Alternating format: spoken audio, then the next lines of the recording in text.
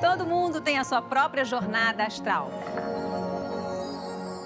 Eu sei que você adora astrologia. Pra mim, é a bula do ser humano. Eu sempre falo que eu sou ariana 100% mesmo. E nós vamos olhar sua trajetória desde as origens, tentar entender a influência dos astros na sua vida. Eu era uma criança fofa e esquisita como uma boa aquariana.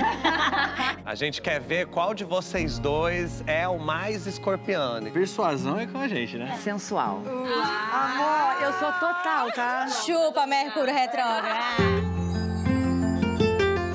Eu não quero que seja um amor só de madrugada. Eu quero poder viver um amor de dia também. Eu fui realmente me aceitar como bissexual namorando um homem. Eu desejei mal pra ele. Eu falo isso pra vida, assim, todo dia. Obrigada, obrigada, obrigada. A gente vê a mãe vendo a lua no mapa. E a sua lua, ela é belíssima. Eu tô te amando. Você quer ir lá pra casa? Tem uma carga emocional muito grande. Isso tudo foi me ajudando a criar essa entidade, né? A entidade canceriana que a gente está recebendo hoje aqui. Obrigada por esse mergulho. Foi de fato uma viagem. Foi demais. Além de ter me divertido horrores, né? E ter falado coisas que eu me arrependi já. Vem comigo nessa jornada cheia de brilho. Vamos desvendar os mistérios do zodíaco. Boa jornada para nós.